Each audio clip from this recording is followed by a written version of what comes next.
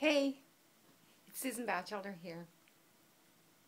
In this video, as a part of uh, just a short series that I'm doing, Infuse Your Magic into Video, I am going to talk about starting, how to initiate, how to get comfortable infusing your magic. And what I mean by your magic, I mean you, the, the essence of you into your video so that you get the humanize part of the video that your audience, the people watching, can get just a little peek into into something of you, some of your ness or some of your awesomeness or some of your magic, however you want to think about it.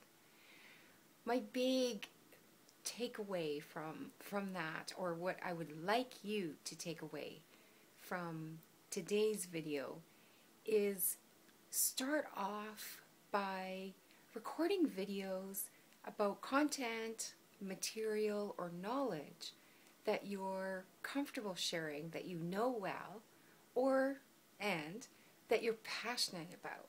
And that will make it easier for you to just get started putting a piece of you, a piece of that ness or magic into your videos.